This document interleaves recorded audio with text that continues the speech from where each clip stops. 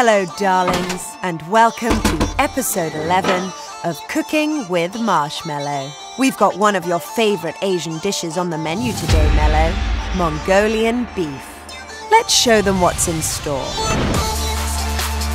We'll need garlic cloves, thinly sliced, sliced beef, 3 quarters of a cup of water, soy sauce, cornstarch, sugar, chili pepper flakes, vegetable oil, carrots, and green onions cut into 2-inch pieces. To begin, add the soy sauce and garlic over the beef to marinate.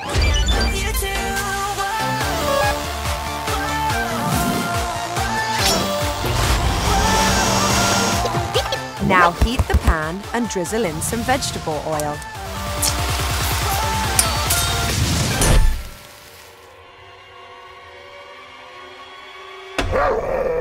Once it's nice and hot, sear the beef in the pan. Once the beef is cooked, please remove it and set aside on a separate plate.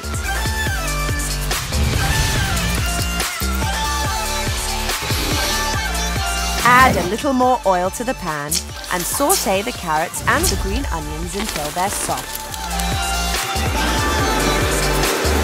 Now add sugar, cornstarch, water, chili pepper flakes and soy sauce into the mix and stir. Next, add the beef and green parts of the green onions and allow liquid to come to a boil and thicken.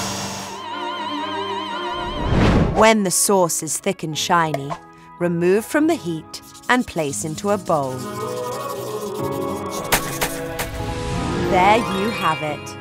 I must say, one of the most delicious dishes yet, Marshmello.